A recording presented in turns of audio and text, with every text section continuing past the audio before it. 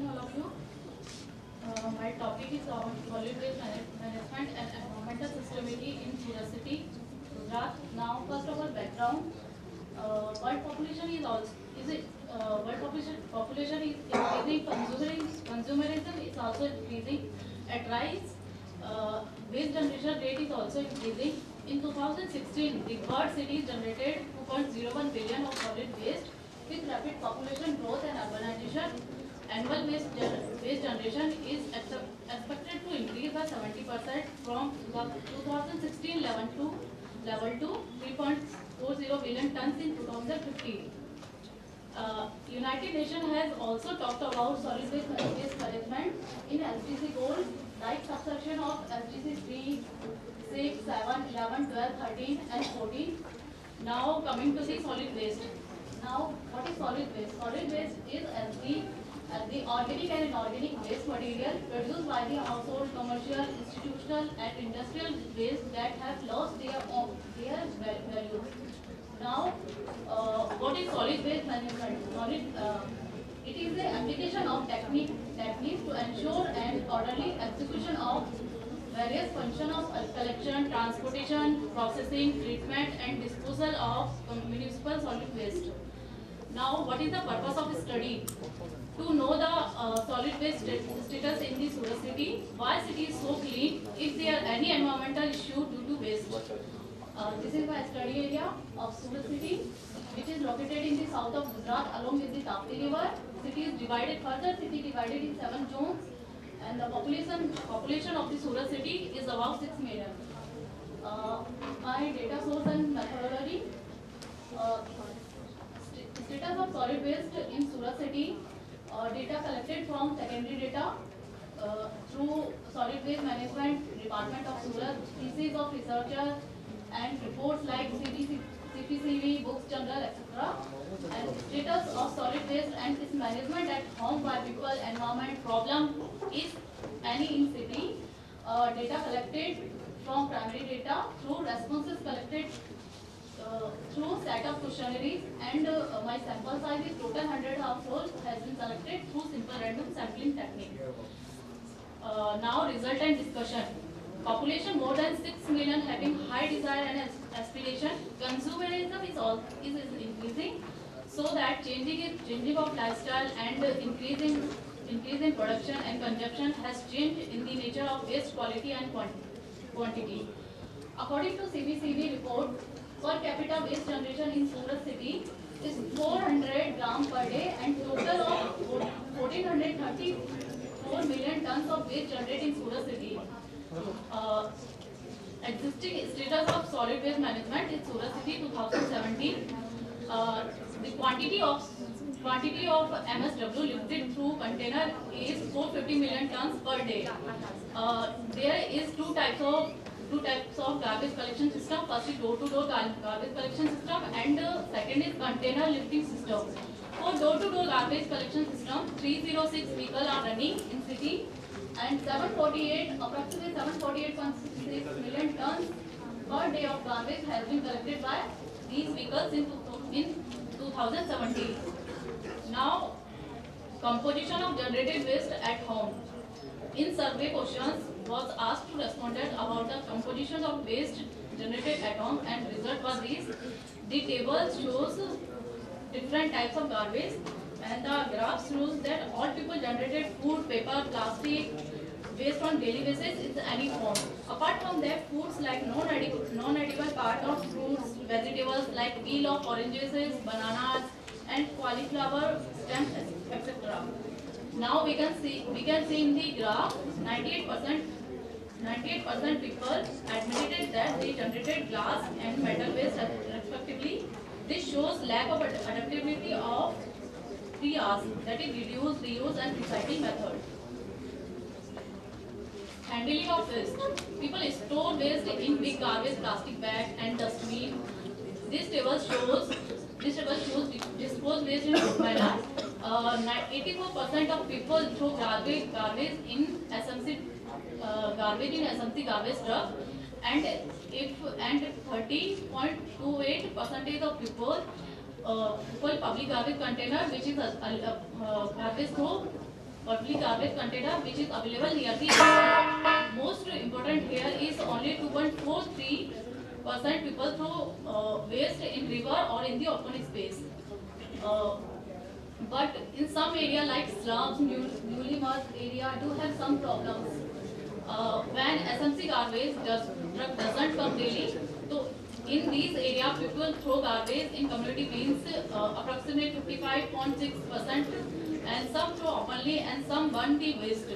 So need to increase the frequency of SMC in the in these area. Now, uh, environmental problem of solid waste. Uh, improper MSW disposal and management cause all type of pollution like air, soil and water, dump uh, water, MSW clog drain, creating stagnant water for insect breeding and flood during rainy season. In survey, it was found that cities no major environmental problem, problem is present except in some few areas like slum, merged area and waste disposing site Kasur. Uh, in earlier table, 37.7% people throw garbage openly in river. It leads to river and soil pollution and uh, may also spread the water-borne disease. This happens in slums areas and newly areas. Hmm. The graph, the graph shows the, uh, the graph implies that most of the people are very well educated and uh, uh, most of the 80% people are very well educated and have well knowledge about the harmful effect of improper handling of garbage and due to this the, due to this the result is keeping clean city by adopting adopting sustainable ways of handling and disposing of waste.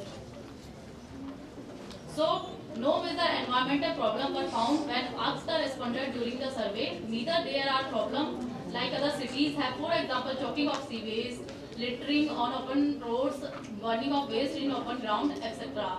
It does it doesn't it doesn't happen in the city even during the heavy rainfall days. Uh, the reason with, behind this, uh, people and SMC proactive role in keeping city clean. And after 1994, 1994 play, SMC shifted its gear and adopted many structural and technical changes. Like uh, these are the uh, structural and technical changes. Uh, to the conclusion, uh, better management and adaptation of new technology in waste management is helping city to stay clean. Daily garbage collect, collected, truck is facilitated people very well and door-to-door garbage collecting method is doing commendable job in city.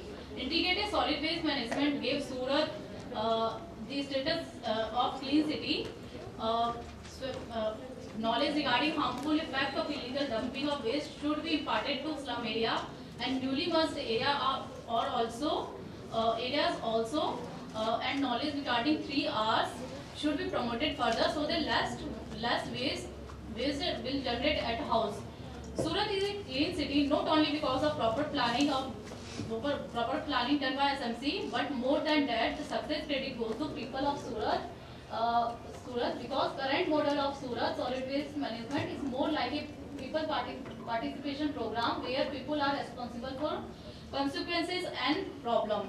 Apart from that, the aim of the paper aim of the paper is how well aware aware and responsible society and responsible uh, local govern, government and responsible human behavior plays important role uh, in a solid waste management and in and in keeping environmental clean. For example जैसे ma'am ने कहा कि society को आई से नहीं B से होना चाहिए। जब तक हम नहीं होंगे, तब तक सोसाइटी क्लीन ही नहीं रहेगी। तो it is more most important thing thank you in includes like stop use the plastic waste plastic carry bags stop food waste like other food other vegetables oranges peels etc and uh, and uh, people knows और ethics human. People are? People people को भी अपना ethics पता होना चाहिए कि क्या dispose uh, करना क्या नहीं करना क्या मैन कैसे मैनेजमेंट करना है। It is very important for society purpose and this can be do this can be do for campaigning through campaigning through T V ads through movies या एक्सेट्रा कुछ भी and government also initiative like uh, Swachh Bharat Abhiyan.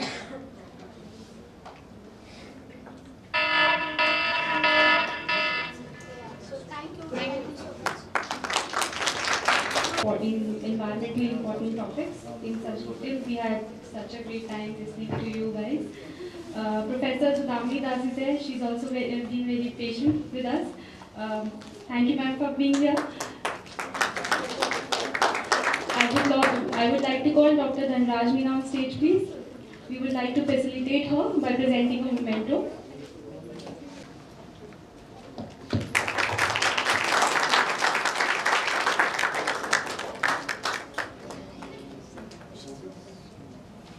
May, may I call upon Dr. Mansi?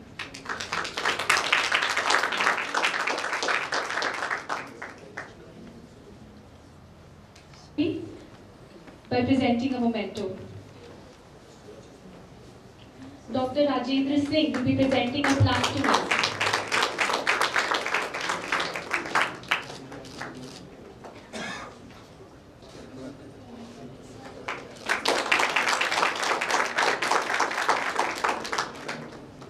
invite Professor Saudamini Das on stage to deliver a lecture and address the audience. Good afternoon, everybody. As you can see, I am from Institute of Economic Growth. I also work as NABARD chair professor over there. I am basically an economist.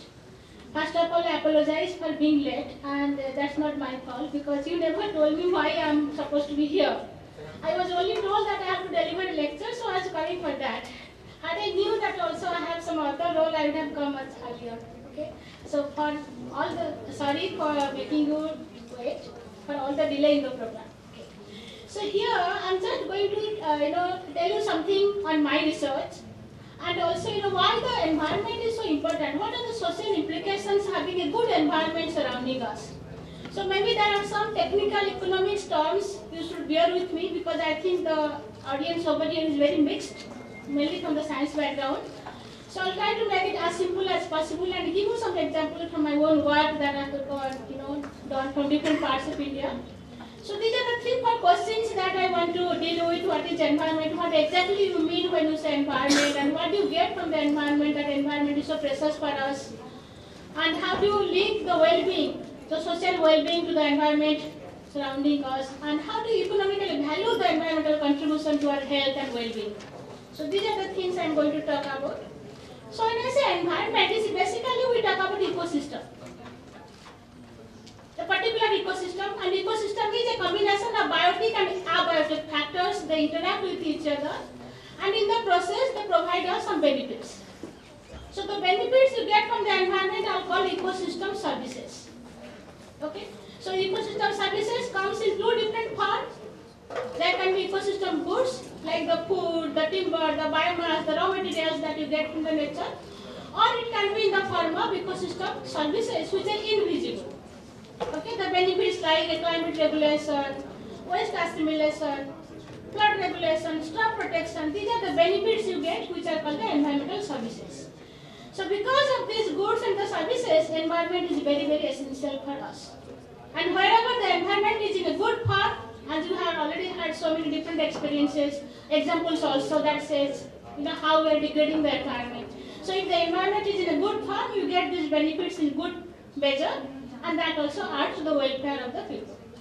So in the environmental valuation, which is basically an economic approach to ecosystem service valuation, helps us in bringing those benefits to the mainstream. Many of you must have heard about something called green accounting. So the green accounting is the process where you take these benefits of the environment in the national income process. So these are the different aspects. Ecosystem valuation helps us in going for the green accounting. So you can see this picture that tells you what are the biotic factors, what are the abiotic factors, and what benefits you get from there. The plant, the microbes, the animals, these are the biotic factors. The air, the water, the minerals, these are the abiotic factors. And because of the combination of these things, we get benefits like pollination, pest and disease management, fresh water, food, fiber, habitat, genetic resources. Or you get other benefits like erosion prevention, protection from natural disasters. So these are the services, goods and services that you get because of the interaction of the biotic and abiotic factors. Okay. So now we have this assessment called the Ecosystem Service Assessment, Millennium Ecosystem Assessment that was conducted by United Nations in 2005. The report came out in many volumes. So they put these environmental goods and services into these four categories. I'm sure many of you must have heard about it. So one group is called the supporting services. They support the provision of other benefits you get from the nature. So these are like the intermediate goods. Like you need wood to make a chair. So wood is an intermediate commodity. Similarly, the supporting services are the intermediate services that nature provides. And because of the supporting services, you get other benefits which can be provisioning, regulating, or cultural. Okay, so these are the benefits you get, and you can read out what type of service is coming under which category.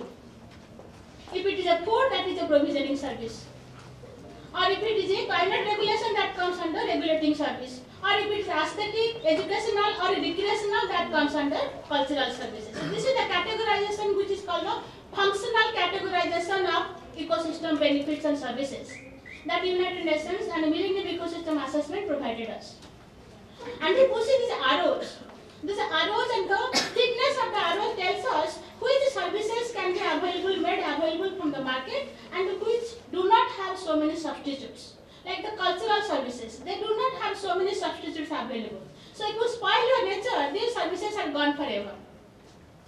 Recreational benefits. You get recreation from the nature. If you damage your nature, you don't get recreation elsewhere. So they are lost forever. So that tells us the link between on the right hand side are the components of human welfare. If we having a secured life, we are better off. If we have basic material for good life, freedom of choice and action, health, good social relationships, these are the different components of well-being. We have a good social life means these things should be present. And these things are directly linked to the ecosystem services you get from the nature.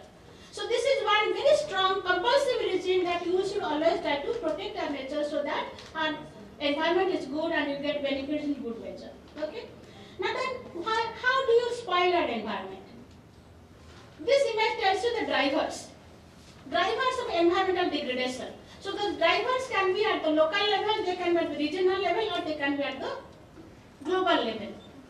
So now you can see the corner one, the right hand side corner one. So that is the number one driver. So the indirect driver. So like indirect driver that can be demographic. Population is growing, so obviously the impact on the environment is also growing. And there can be economic driver, socio-political driver, scientific and technology. As your technology improves, the speed of you know, exploiting the nature also increases. When you did not have technological revolutions, maybe we were not using so many products, so many dyes, so many harmful chemicals. So the impact on the environment was much less. So the technology, because you have really not been able to make it, you know, which is, you a pro-environment, which is anti-environment, you are not going so much. So with the technology, our exploitation of the nature is also increasing. So that you should try to make a balance. And then from the indirect comes the direct drivers. And because of the direct drivers, so the ecosystem services also gets affected. When the drivers are strong, environment gets damaged, the flow of ecosystem services goes down. And that directly links to the decrease in the human welfare. So we need to make some attempt both at the local, at the regional, and at the global levels to reduce the damage in the environment so that the environment is intact, is in a good form, and our social well-being also is protected. Okay? Now, so what are the other attempts? This is called the economics of ecosystem and biodiversity. This is another attempt by United Nations in the year 2010. They tried to put economic numbers into these services. So they said, if we put some economic numbers, of course, every, nothing is foolproof. When the generate economic number, there also can be methodological problems. There can be numbers also may not be accurate. But this is a good attempt. If we put economic numbers, then it becomes easy to make a cost-benefit analysis. Make a very good balanced land use planning. Whether this area should be protected or whether some other land use should be developed or not. so this was the attempt making nature's value visible. So the step was economic evaluation. Have different methods so that you can put numbers and you can protect the environmental services.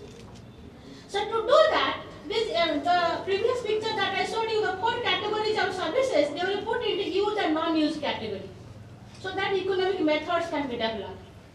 So the same benefits can be use benefit and the use means they can be direct use, they can be indirect use. All the environmental goods are direct use.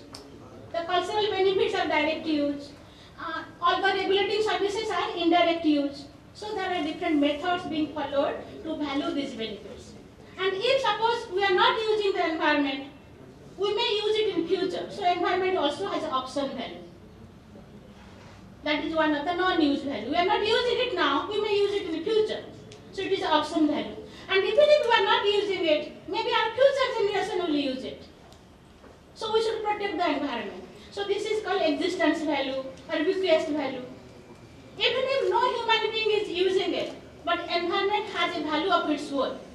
Because maybe some other animal, maybe some other species is using it. Maybe our science is not so developed, we are not knowing the value of the environmental good. Maybe the future we'll know it, so it also has a non-use value, non-anthropogenic value. Because all these use values are to the humans. So even environment has a, has a value to the itself. So that is called the non-anthropogenic values. So then how do you price it? Or how do you value the environment? So I'm not going much detail into it. If there are any students from economics or any teachers from economics, they would be knowing what is a consumer surplus, what is a producer surplus. So consumer surplus and producer surplus is the way to value environmental goods because these are not marketed. They don't have a demand visible in the market. They have supply but they have no demand. They have users but there is nobody to charge a price because there is no government regulating that. So environmental economics they use consumer and producer surplus concept to value that. Okay, I also come under this one category. So I'll tell you how do you use this consumer producer surplus to value the environment.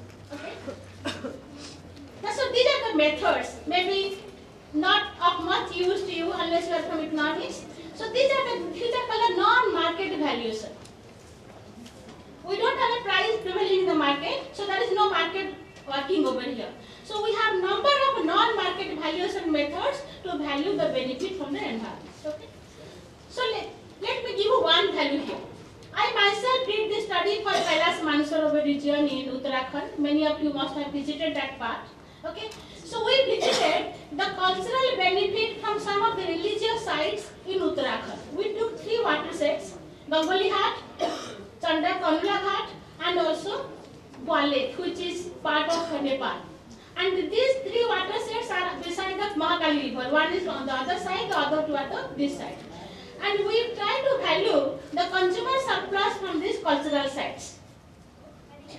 So it is a non-market valuation method. So we try to develop a demand curve. And for that we used a method which is called the travel cost method, which is a non-market valuation technique. So in the travel cost method, you survey all the people who are visiting, survey all the travelers. Okay? And then try to find out how much money they are spending on the travel, the time they are spending, the time on accommodation, whatever money they are spending, how frequently they are coming in one year.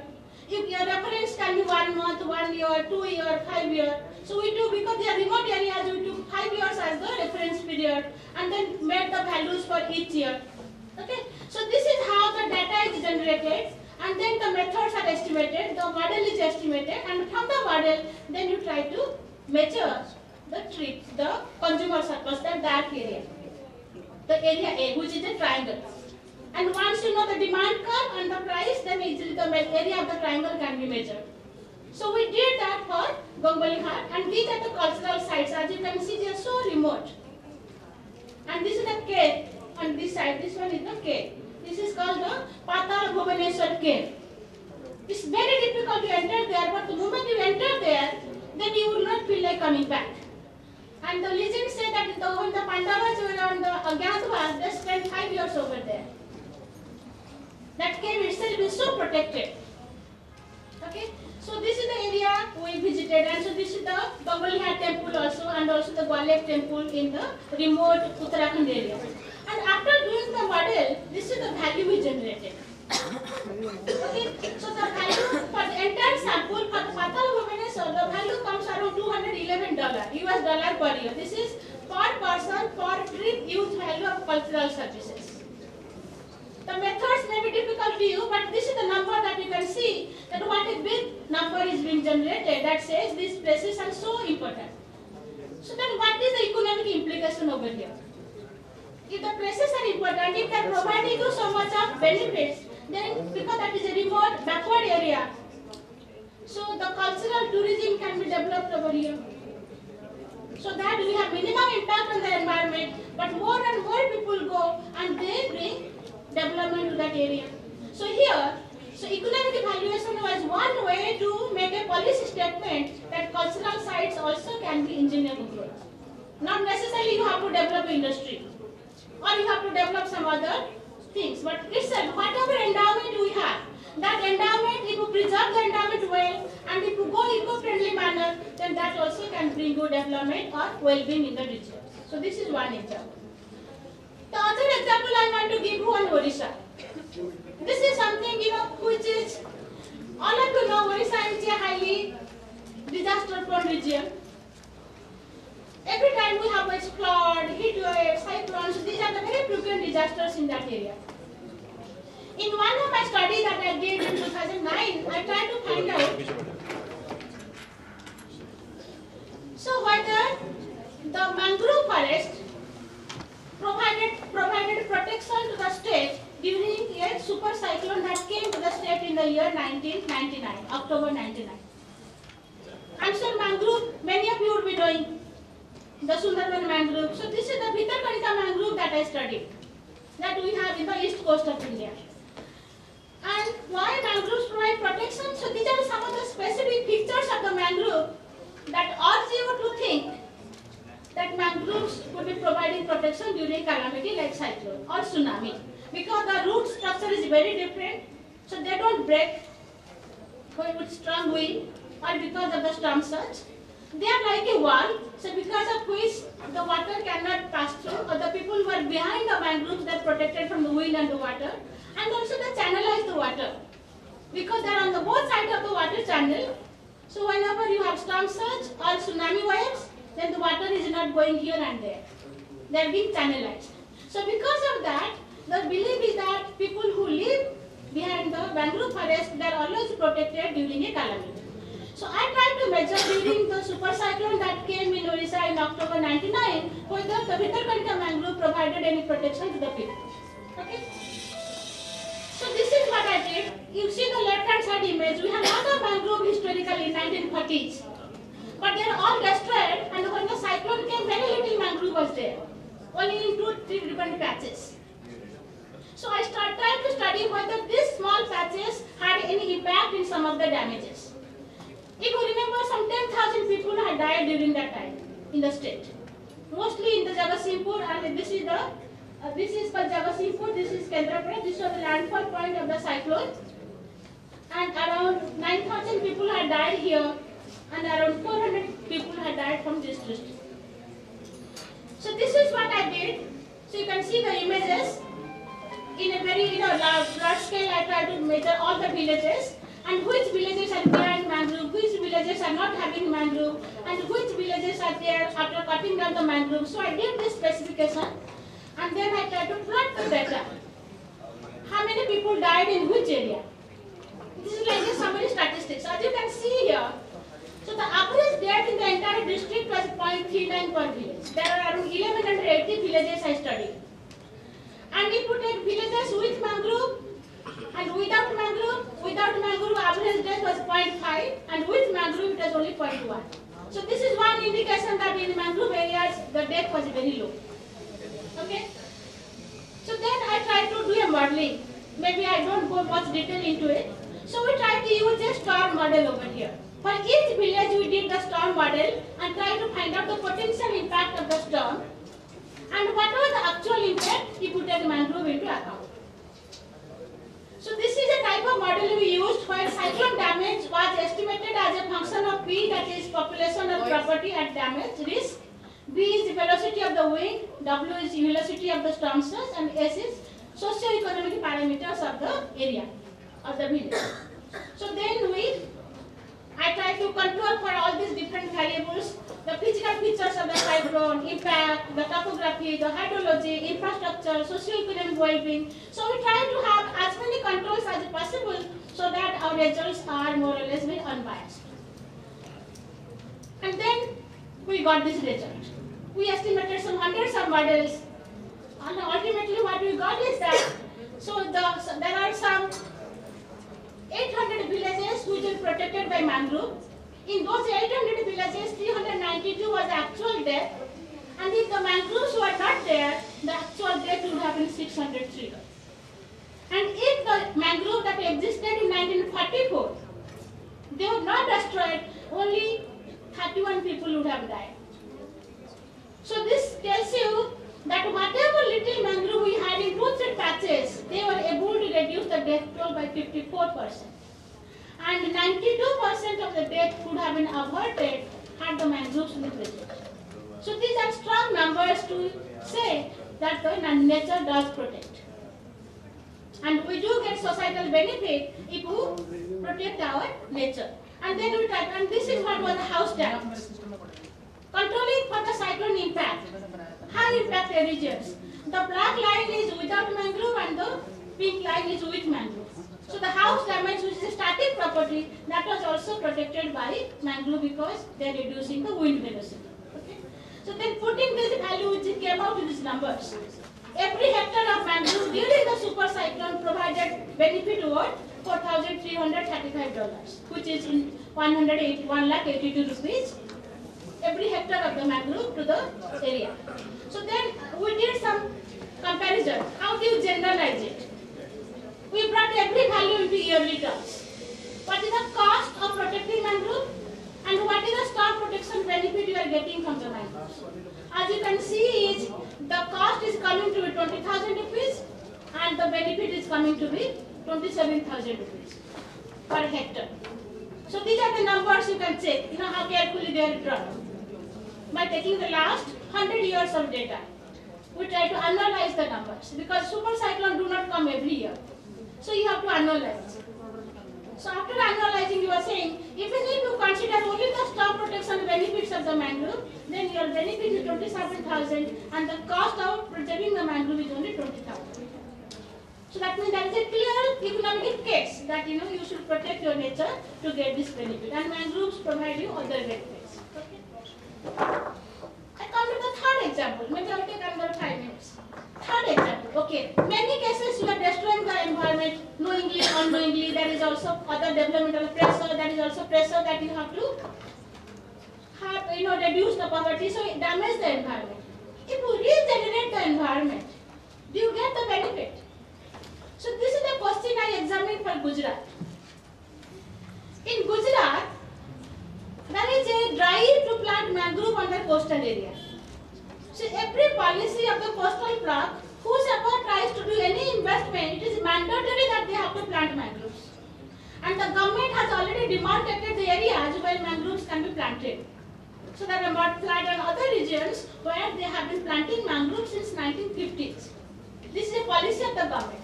And if you see the change in mangrove covers, it's very clearly visible that how the Gujarat is really standing out. In some areas the mangrove cover is going down, but in Gujarat they are going up. So what are the societal benefits of this policy? If the government is doing that, so is it the society being benefited or not? So I try to find out the uh, benefit in terms of fishery sector because you can't do all the benefits measure on the benefits.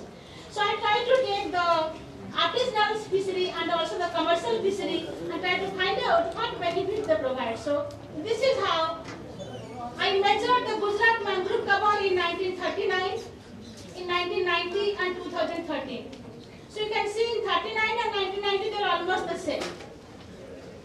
So after that there has been a significant increase now. The Gujarat mangrove cover in 2013 is nearly double the mangrove cover of 1939. So this doubling of the mangrove has been done. I think this is globally the only case where the mangrove has been doubled. Nowhere, anywhere in the globe, they have been able to do this. This is a big achievement for the government. So what benefit it has for them? These are all the state, the district wise. So these are some of the you know, images that they do. You know, this is also generating massive employment in the state. Many people are working over there. So I did this assessment at the regional macro level, regional level and also micro level for the artisanal fishery and for the commercial fishery. And for artisanal fishery I studied these different villages in uh, Kutch, which is one of the area where maximum mangrove increase has happened. And okay, this is economic numbers, maybe you are not very familiar, but you see these numbers highlighted, that tells you the increase in catch, the catch of the fish per trip compared to non-mangrove area. So because most of these fishermen, they fish in the creeks. So I put the creeks into four categories, creeks without mangrove, creeks where mangroves has been planted, creeks where mangrove existed and some has been planted, this is enriched, and creeks where natural mangrove existed as from 1930s they are there. Four categories. And these category, three categories tells you the comparative picture. So if the catch is 1 kg non-mangrove creek, it is 1.98 planted mangrove. So that means mangrove plantation is increasing the catch by one, nearly 1 kilo. And if it is 4.93 in the enriched plantation creek and it is 5.23 in natural mangrove creek. And we have all these different controls. So that tells you whatever the, the Gujarat government is doing, the artisanal fishery is also being benefited. Then we did an analysis for the commercial fishery using the data from 1985. And also this highlighted number tells you, because in commercial fishery you cannot do the assessment for total. You have to see which are the mangrove dependent fishery. So I took them as pelagic, demersal, crustaceans and mollusks. And pelagic are not supposed to be depending on mangrove and other three categories depend on the mangrove. And you can see here, and here the, the comparison was made vis-a-vis other west coast states of India.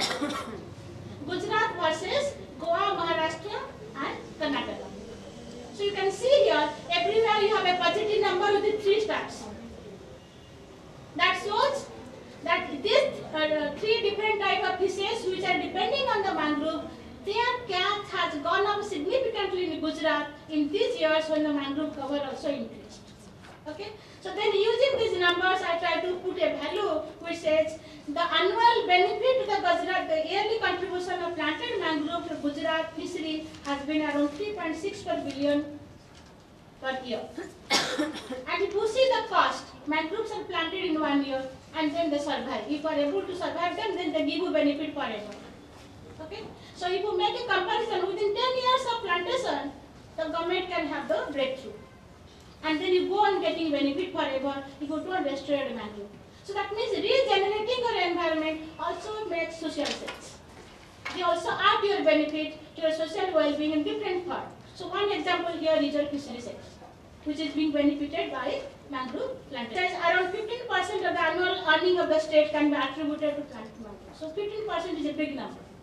And they don't even spend 1% of their annual revenue in mangrove plantation. You spend less than 1% and you are getting 50% of your revenue from there. This is a definitely a win-win situation. Okay. So that's all. So based on that, you can easily say that okay, your environment does matter. The fact that how do you protect your environment? And in all your ecologically sensitive area, as I gave you the example from Uttarakhand, environment also can be your engine of growth. Not necessarily you have to have a industry over there or some other form which is environment destructive. Retain the environment, go green. Even going green also can strongly increase the welfare and in the poverty reduction also can possible.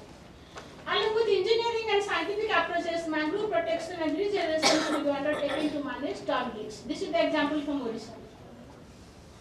You can have now government is making shelters, government is also making other infrastructural development, are necessary.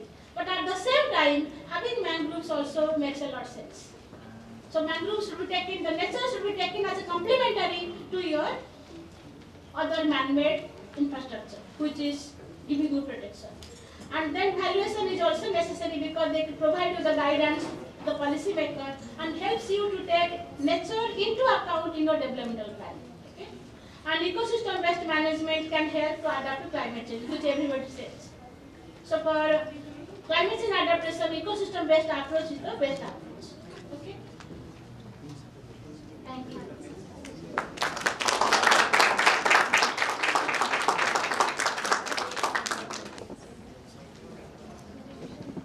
Anybody, any burning question you have? Anybody? After studies during my masters, we did used to hear about economic valuation. We never actually saw it being done. So it was a, a delight to see how it's done. Thank you. Uh, I wanted to ask you if similar studies can be performed for every single kind of natural resource that we have. Uh, I come from a, a state Chhattisgarh and um a lot of our forests are being redirected for other land usage such as mining and uh, coal mining, uh, thermal power plants and uh, road widening. So it's very hard to argue against that because the state is not undeveloped. But can similar studies be undertaken uh, by maybe your institute or uh, somebody else who has the resources to conduct that in order to influence the policymakers to stop so much uh, destruction of the forest? Candidly, you know, you just go for environmental protection and don't let any other project come up. But there are critically environmentally sensitive areas. There are also environmental no-go areas. So those needs to be demarcated.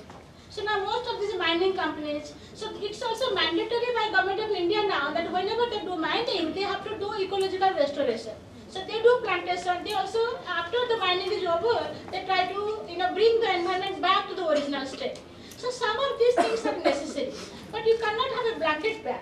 But environmental valuation is also a tough job because you need money, you need resource, and you need a very you know, careful study. But if it is a, you know, it's an area which is so sensitive that you are really, really not able to decide whether you should go for environmental uh, conversion of the land or not, then the valuation should be taken. But if it is an area not many people are depending, or maybe similar areas exist elsewhere, then definitely developmental projects should be undertaken.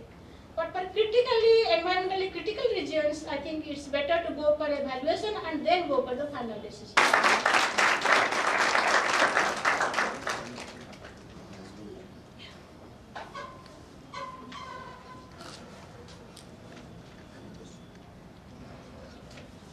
So I go there, can I take this? Thank you, Professor Saudamini, for such an intriguing lecture. My ins- your insights about environmental economics and biodiversity were very new topics for the students, which will largely help in environmental protection awareness. We are into the last and most awaited session of the conference, which is the valedictory session. We have Dr. Sheetal Kapoor with us. Uh, uh, Dr. Sheetal Kapoor is a uh, global face in the field of consumer affairs. Presently, uh, Sheetal Kapoor is working as an associate professor in Kamala Nehru uh, College. She has teaching experience of 23 years. She is a member of National Mirror Committee under BIS, Bureau of Indian Standards. She is a recipient of Sahitya Saman Award for her work in consumer rights from the Supreme Court Association. She has received Teaching Excellence Award in Innovation from VCTU.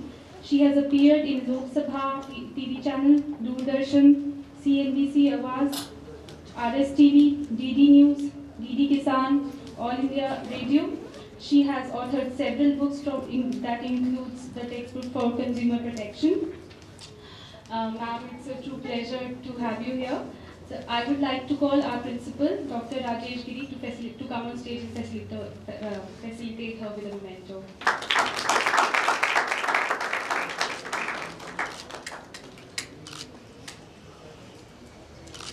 Please, ma'am, please come here and address the occasion.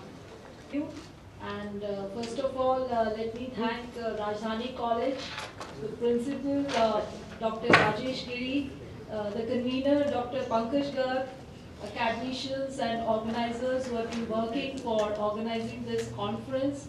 And I'm really delighted to be amongst this August gathering. I came here as a co-chair yesterday also and uh, was extremely, uh, you know, delighted to see the performance and the papers which were presented here.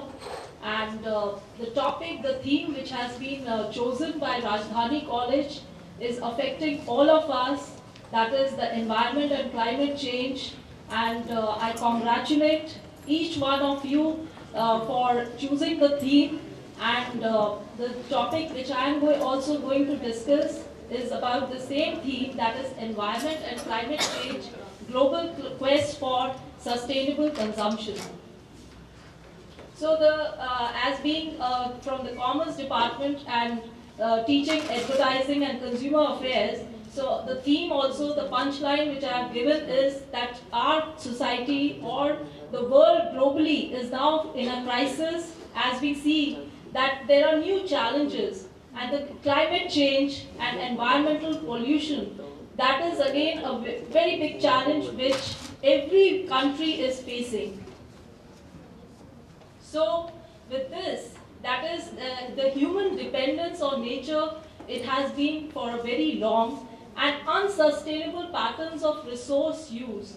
That is the greenhouse gas emissions, exhaustion of our, our available natural resources, and unsustainable consumer lifestyles.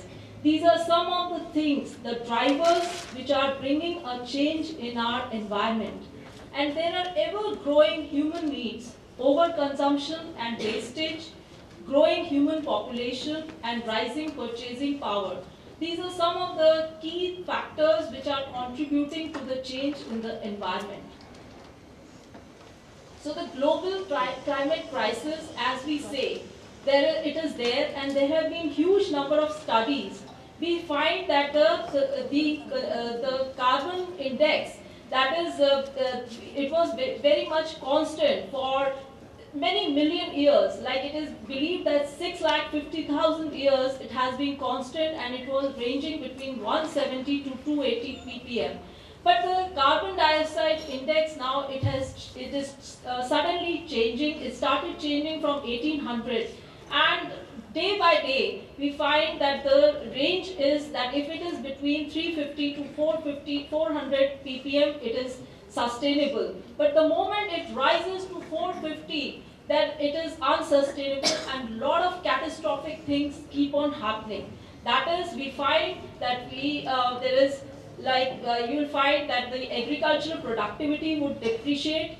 You will find that diseases, the diseases which we never know will suddenly start appearing. And there are a lot of problems which the human population, not only the human, but the entire ecosystem that gets affected. So these are the uh, factors which are driving towards it. So we we are also facing in India also we are total, many of our you know as uh, the, the, northern belt to the eastern belt we are dependent on the Ganges river. Yesterday also we had strong di uh, discussions about uh, the Gangotri glaciers which are being melting and how the Ganges would get affected. And there are 500 million people who would get affected if the erosion takes place. In about last 100 years, we have generated enough carbon footprints. If you see that there have been a lot of industrialization and globalization which has affected all of us and with a uh, lot of manufacturing which is happening, there have been industries which have so much uh, come, uh, come up and deforestation, the lands have been occupied by builders and a lot of uh, you know human footprint has just uh, reached to the natural uh, resources. So what has happened is we are facing pollutions which are ranging from the air pollution to the soil to the water. All these pollution have occurred very fast. And air pollution, if you see, it is a worldwide problem which is now happening. Los Angeles to you find it in China or extreme pollution in Delhi. It is not only now in uh, uh, during the festival season that is Diwali, but it has become a constant thing. And during winters also we are facing this problem. Global warming, the warming of glaciers on one side, and the climate change which we are now facing. So, dear uh, ladies and gentlemen, it is time for all of us to wake up. The birth of environmentalist, uh, you must have heard Rachel Carson. She had written a book in 1962 and she called the book as Silent Spring. Now, this was a word, this, these two letters were taken from Keats' poem and she was mentioning that if uh, spring doesn't come, if the uncontrolled use of pesticides would hamper the growth of the nature. We are just, uh, you know, trying to destroy our nature by putting so much pesticide, which we believe that, that the growth of our crops would increase. But she said that the moment we are killing the insects, but we are also killing other things like birds, and she named in her uh, uh, in her novel itself, she talks about that when robin uh, bird doesn't sing, and she called the whole, uh, it's a very classic uh, novel which I would suggest that you should have it in your library also. And it discusses about the, uh, the moment we start uh, hampering the nature, how the problems they start occurring. So she again like the, discussed about and the, uh, this was uh, many things were taken from the Keats poem La Belle Dame and she was talking about this, uh, the sedge is withered from the lake and no birds sing. So what's uh, wrong with our consumption patterns? The consumption which is excessive, which we are not talking about disposability or recyclability, ignores the cycle of nature and uses air, water, earth as dumping grounds for non-biodegradable waste. That is, we are never thinking in terms of recycling things which we can, you know, defer. We can make use of solar panels or many methods to conserve energy, to conserve our resources, but we don't do it. So sustainable consumption, there have been numerous summits globally, whether it has been the Earth Summit or the Eco Footprint, Rio uh, Summit, UN uh, Global uh, Compact programs, there have been numerous uh, summits worldwide, discussions for how, how to curb this climate change. Now the Earth Summit itself, like we celebrate the Earth Day on 22nd April, just to uh, tell every, uh, from uh, younger children to the adult, that we, the Earth is the place which we need to protect. There are driving forces. The environmental impact is happening so fast that it is believed there have been a lot of studies and it is believed that the population, affluence and technology, this is an impact study which says that the population, the growing population also puts pressure on the resources. Then the growing affluence also, that is the more and more we become richer, we forget, we just want to possess, we become materialistic, and we don't conserve resources. And similarly, the technology. Technology also has, uh, you know, if it is talking about green uh, technology, then it is fine. Otherwise, we are making the or using the resources in the wrong direction. So India today, it is also growing very fast. We have a very young population on one hand. The, need, the young population needs to be directed in the right channel or channelized in the right direction. The urban Indians are spending huge amount of money on vacations to buying uh, more and more, that is from clothes to footwear and furnishings, growing incomes and cheap consumer credit this has given, uh, driven the consumers to a spending boom. So what is green marketing? As ma'am also from, uh, talked about greening the, uh, or talking about green consumerism, this is about uh, that we have to bring in uh, products which are more greener, which are more sustainable and more environmental friendly. Green marketing looks at how marketing activities utilize limited resources, satisfying consumers, unlimited wants, both of individuals and industry, as, a, as well as achieving the selling organization's objectives. Now, there are various examples which uh, even we can make use of, like you must be doing in your college, as in my college also, we have stopped making use of paper. So we are uh, making use of uh, the digital uh, channel, any email, anything, we are making use of that. So one, uh, one uh, is that even we find digital tickets now, no polythene carry bags, that is the you carry your own bag to shopping and to avoid using, making use of any kind of plastic. Then green IT projects like State Bank of India and many banks also have, are using it there are green uh, machines which have now come up, lead-free trains. These are some companies also which are making use of sustainable and environmental friendly products. strategies and focus may be for water resource management, smart low carbon city, low carbon power generation, then forests and biomass, and solid waste treatment. So as I've discussed, we can make use of, we can change our own, uh, you know, scenario and make use of eco-friendly products, which may help uh, the environment, which don't uh, try to, you know, put pressure on the resources. the consumer movement, it again has come as uh, full circle.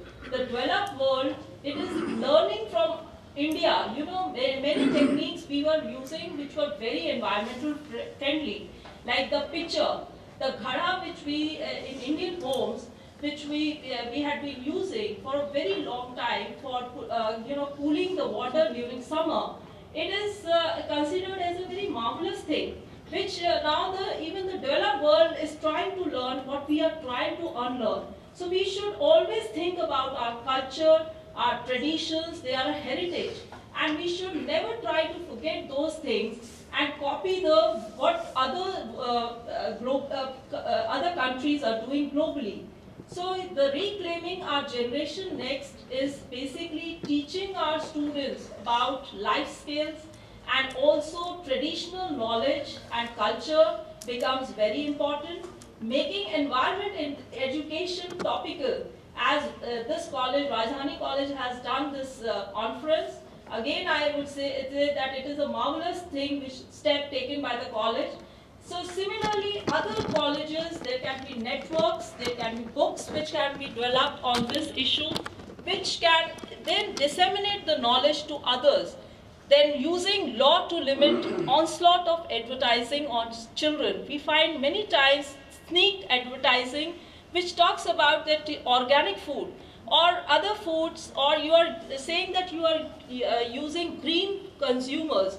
But i believe that that is a false thing. Many times say making use of those statements that you have changed your behavior. Suppose you say that i have come from uh, moved from diesel to petrol. But again you are consuming that much of the car usage then that can also have an impact on the environment. It would be better that you become, you reduce your consumption of the product. That is, you go for sharing or reducing or recycling the products. So once when you go for sharing of your car, so then you or you restrict your movements, then it would be better rather than switching over from the diesel to petrol.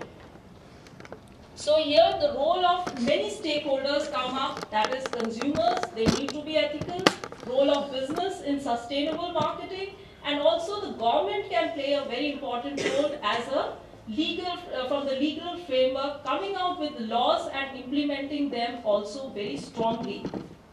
So here, a sustainable society, we have to move from me first to others first. That is a society which is altruistic, open to change, frugal, post-materialist, ecocentric, nature knows best, and biocentric, all species matter.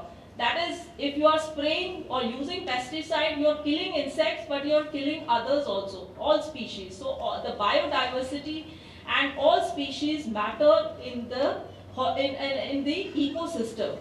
So Gandhiji, he was an advocate of sustainable consumption. We, we should always take the, the inspiration from him.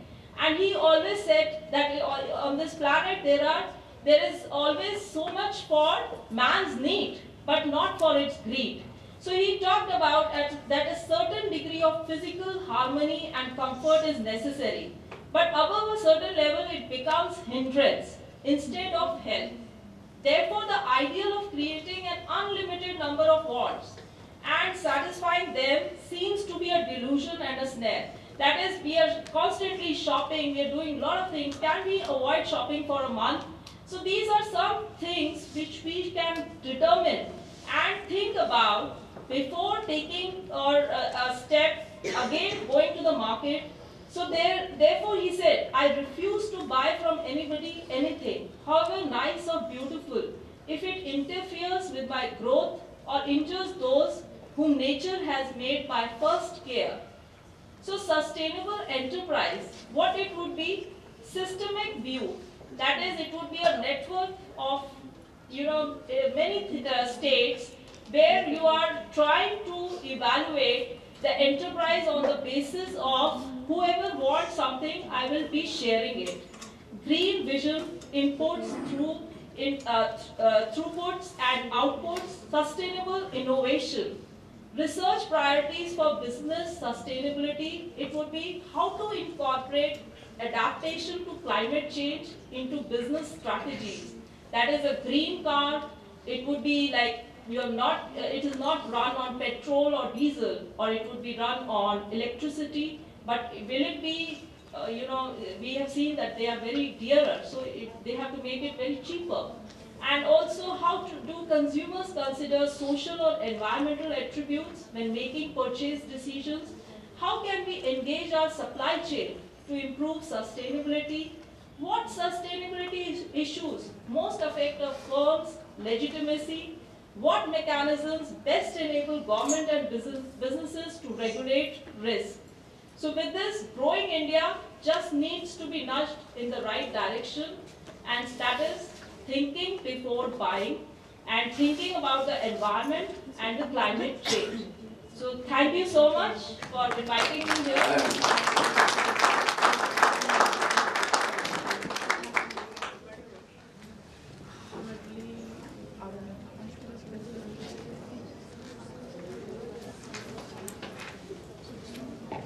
Thank you, Dr. Sheetal Kapoor, for such an informative lecture.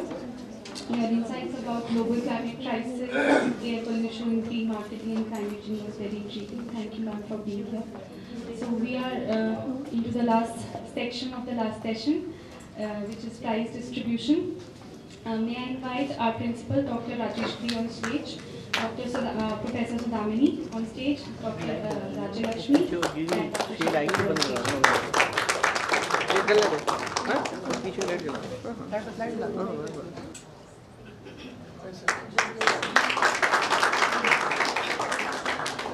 Our second technical session was on human health. Uh, so the best uh, best paper award goes to Miss Gitanjali Sagina.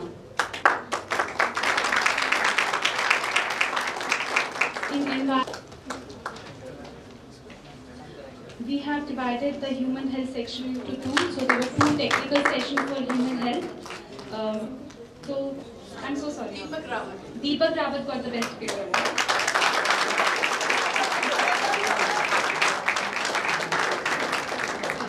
for the Udita Sharma.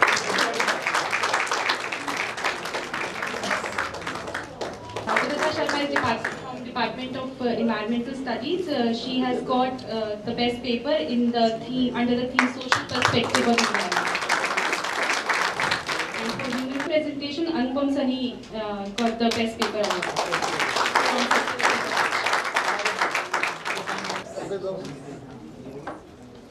Sunny from Satyavati College.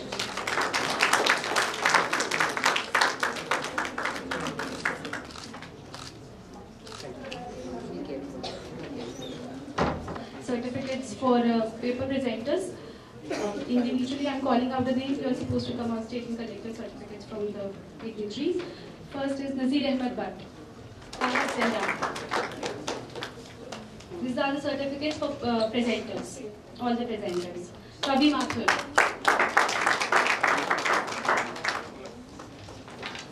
Arushi Midha.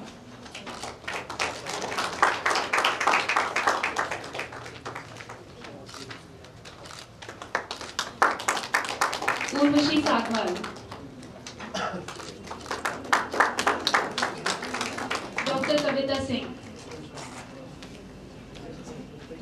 Kaligar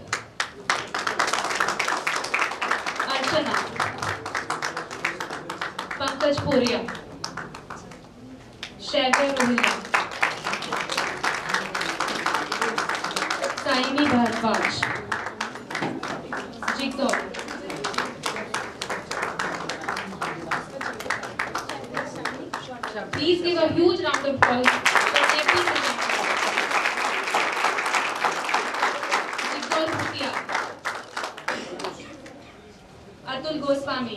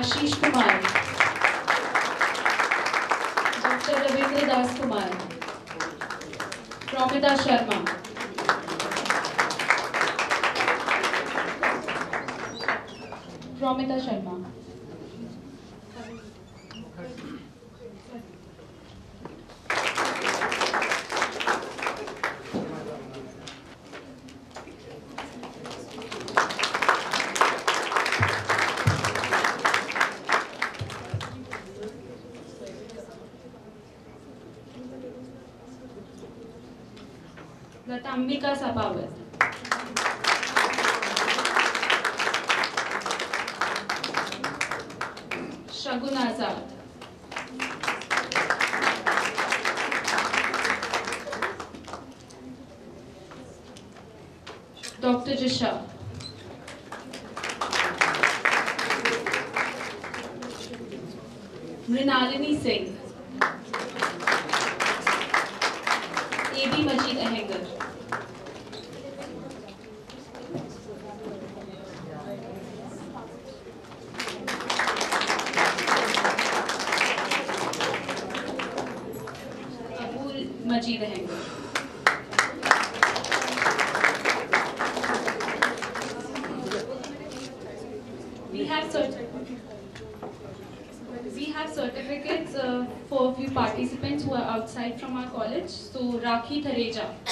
Is she here?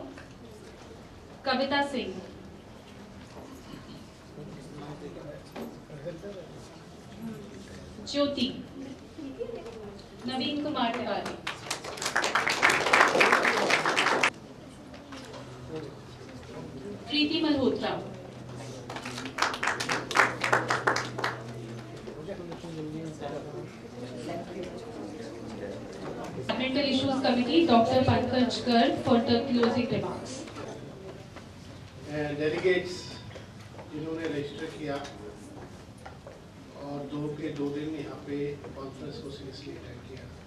हमारे students जिन्होंने volunteers जिन्होंने दिन रात मेहनत करके इस conference को मतलब मेरा ये कहना कहीं गलत नहीं होगा और मैं कहूँ कि ये दो दिन की कॉन्फ्रेंस हमारी कामयाब कॉन्फ्रेंस रही है।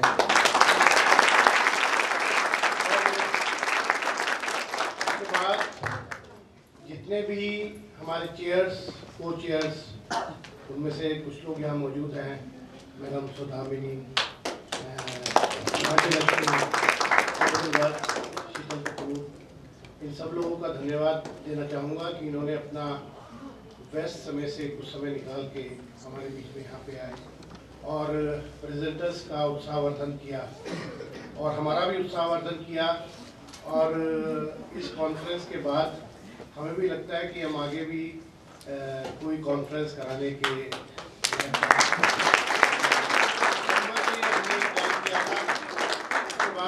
ऑफ़ एनवायरमेंटल स्टडीज़ को हमने अप्रोच किया एंड वी रिक्वेस्टेड दैट कि हम इसको जॉइंटली ऑर्गेनाइज करना चाहते हैं।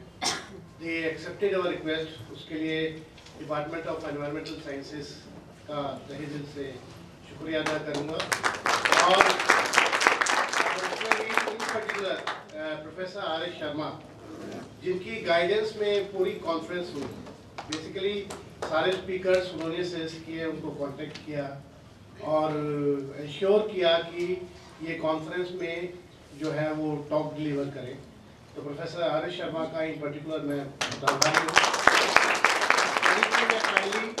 अपने जो कॉलेज के टीचर्स हैं कमेटी मेंबर्स हैं, जिन्होंने दिन रात मेहनत करके इसको कामयाब बनाया, जो नॉन टीचिंग एम्प्लॉयज़ हैं फाइनली हमारे कॉलेज के प्रिंसिपल डॉक्टर राजेश गिरी और डॉक्टर सुमन वर्मा सुमन यादव, सुमन कुमार, उसके बाद पूरा अकाउंट्स डिपार्टमेंट और एडमिनिस्ट्रेटिव स्टाफ ये सब लोगों के जॉइंट एफर्ट से ही ये कॉन्फ्रेंस जो है, वो इस स्तर पे हो पाई और मुझे लगता है कामयाब हो पाई। और जो भी मैं श्योर करता हूँ कि जो कुछ कमियाँ इन दो दिनों के अंदर हमारे कॉन्फ्रेंस में रही, जिन लोगों ने भी अटेंड की, मेरी रिक्वेस्ट है कि वो कॉलेज के मेल पे या जिस मेल पे उन्होंने अपने पेपर्स जो है कम्युनिकेट किए थे, उसी मेल पे ही conference dot Rajdhani dot gmail dot com at the rate gmail dot com उस पर अगर कोई सजेशंस हो उनके तो मैं रिक्वेस्ट करूँगा वो ज़रूर भेजें, ताकि हम कभी भी आने वाले समय में कोई भी प्रोग्राम या कॉन्फ्रेंस ऑर्गेनाइज करें तो उन कमियों को दूर कर सकें। मेरा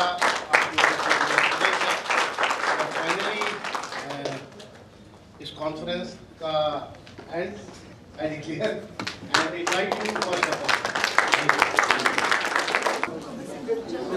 के बिना तो सकता।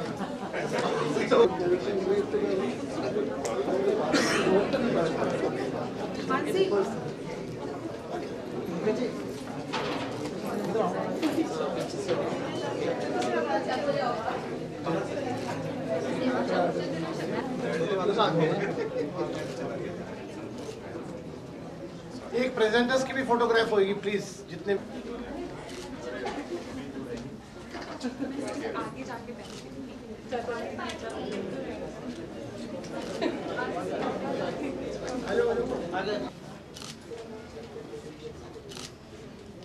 wait wait wait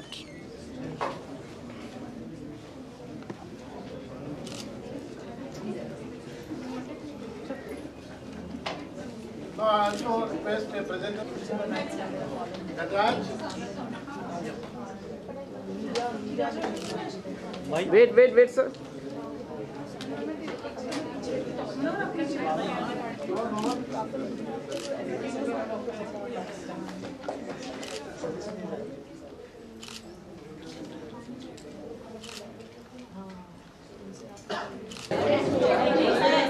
Wait,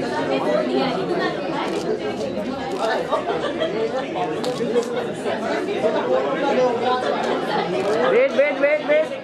Wait. Ja. Ja, ja, ja.